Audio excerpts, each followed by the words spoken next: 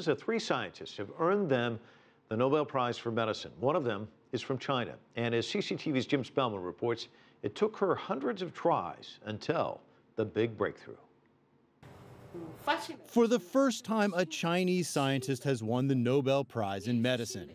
84 year old Tu Youyou studied traditional Chinese medicine to create a new treatment for malaria.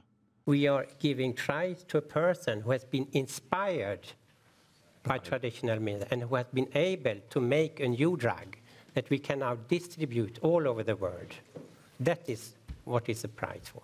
Tu shares the prize with Japanese researcher Satoshi Omura and Irish born scientist William Campbell.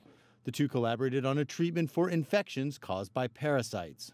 But I especially feel honored as a representative of all the people who worked on this together, and that is uh, absolutely essential part of it. That um, it was a team of teams, and uh, we all must share any credit that comes.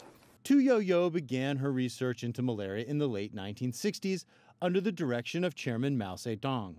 She traveled to remote regions for research.